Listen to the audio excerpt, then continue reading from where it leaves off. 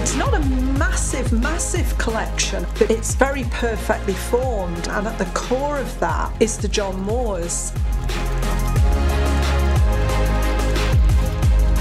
raising curiosity in, in nature and, and bringing nature into the city, which is really important.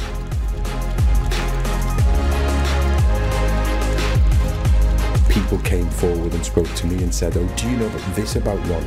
Do you know that about Ron?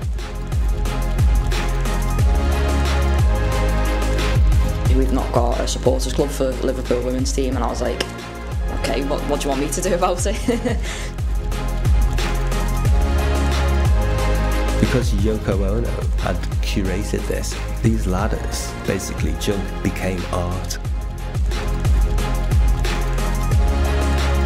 The very term cultural industries, creative industries, it hadn't been coined before.